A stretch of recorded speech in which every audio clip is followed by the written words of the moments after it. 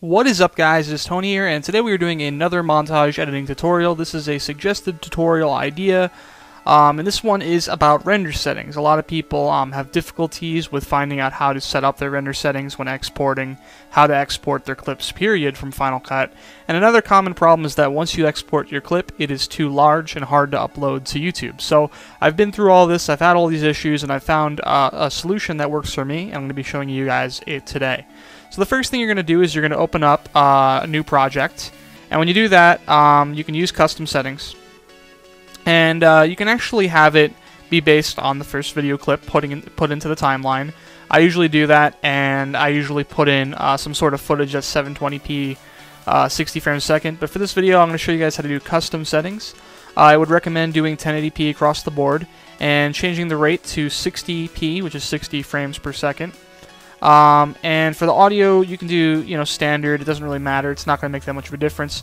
But if you do do custom, do stereo, I would recommend going to at least 96 uh, kilohertz. And I would also recommend to go with ProRes uh, 422 high quality. That works pretty good. Uh, uncompressed is also uh, just as good. Um, but I just do default settings, and I usually do set based on first clip. Um, but for this demo, I'm just going to keep that at custom. And uh, what I would recommend doing is, you know, name the product project whatever you want it to be. And I would recommend that, you know, if you're going to name it um, something different on YouTube, uh, that's fine. I would recommend just putting whatever works for you to keep in mind what project it is. For example, say I'm doing something for Encore, my friend. Uh, I'll just name it Encore, so I remember that this is Encore's episode. Um, and that usually helps me keep track, and I just do it in all caps. Now, um, so we can go ahead and this isn't going to be Encore's clip. We could just put any old clip in here, and you know you can just edit it however you want as usual. Just you know go through and edit it. I'm just gonna have one clip in here that's uh, about 17 seconds long. And what I'm going to do is I'm going to go ahead and start to export it. So, when you're exporting, you go to Share, you go to Export Media, you can also hit Command E, and once this pops up, eventually, spinning wheel of death here, it's taking a bit, uh, but yeah, once this uh, once this pops up, you're gonna go ahead and export video and audio. This is very important. I don't know how many times I, I used to export video only and go, what the hell's going on? Where's my audio? Video and audio. I think it's quite obvious. And you can change your settings. Uh, I don't know why it says. I guess current settings means whatever settings the project is. Um, I would recommend just doing current settings if you have that as an option. If not, I would recommend doing H.264. Um, that's you know very high quality uh, compatible codec and uh, I would, you know, you don't have to open it with anything. You know, this is when it finishes uh, exporting. Uh, you can change it to whatever you want. Uh, I usually do QuickTime, so I know that it's uh, finished. And you'll see here it went with the settings that I already have in the project, which is 1920, 1080, and 60 frames a second in H.264. And the estimated size is 84 megabytes. Um, so, you know, you can change this around. Current settings, uh, you'll notice that the estimated size is unknown and when you do current settings, it's pretty much no codec. It just goes by raw settings, uh, and you'll get the best quality possible. So if you have the option for current settings, I'd recommend doing that, and it'll give you the best quality overall. And then when you export it, uh, you can save it wherever you want. I'm going to save it just to desktop, and we'll export that out. It goes rather quick, um, and I'm going to go ahead and cut here until it finishes it finishes, you're going to notice it is sitting on your desktop, and you're going to notice that this file is 500 megabytes, a half a gigabyte. That is a lot of memory for an 18 second file, and that's usually what you're going to run into when you do raw current settings and you don't have any uh, codec selected like you know ProRes 422 or H.264. Um, I would definitely recommend doing the raw settings, and this is why uh, I would highly recommend opening up iMovie and using iMovie to upload your footage and render it out. So we're going to go ahead and switch over to iMovie real quick. In iMovie, I would recommend making an event called whatever you want your event to be called. And uh, you're going to go to File, Import, and then Movies. And once you're inside of this, you're going to go to the uh, desktop or wherever your file is located and double click on it and it'll go ahead and import it.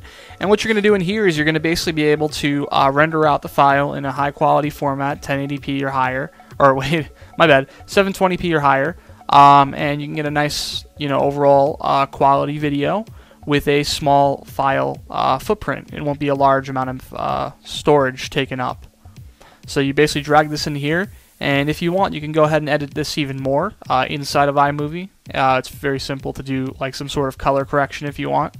Um, for example, color correction I would do on iMovie would be uh, turn up the saturation a bit, turn down the uh, the green spectrum of color. That usually gives a nice effect. Um, what you're going to do is you're going to go ahead and hit share once again, just like on Final Cut. And you have two options. You can either export movie, and you can just select 1080p, simple as that, and export it to the desktop. Or you can do YouTube. Uh, this is the option I usu usually do um, because, to be honest, it just works better for me um, going ahead and, and uploading videos to YouTube. And uh, the only thing to note about the uh, YouTube uploader is that it does not allow you to um, monetize the video if you're a partner. It does not allow you to add thumbnails uh, or change your thumbnail, and you can't add annotations or anything while you're inside of this program. So it's very limited. Uh, all, you, all you also can't uh, put it as unlisted, which is kind of annoying. But you can uh, simply upload it through there and then go over to YouTube and change the settings from there. So basically, that is how I render out my montages and edits I do um, from Final Cut to iMovie to YouTube. Uh, it's a very simple process, and I think I think this will help a few people. I mean, Final Cut's rendering isn't that difficult. I mean, if you go into After Effects, the render settings are much more complicated.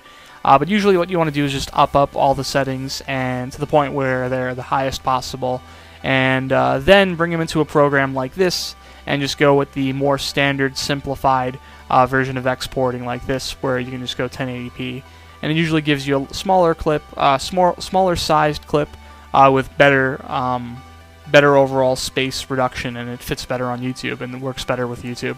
That's pretty much it. That's my uh, quick video, my montage editing tutorial on render settings for Final Cut Pro. Hopefully this helped. Uh, if it did help, go ahead and like and comment on this video. And if you want to see more like this in the future, subscribe. And if you have any suggestions for future videos, those are always welcome in the comments sections or the private messages as well. And uh, yeah, I'll, I'll see you guys next time on the next montage editing tutorials.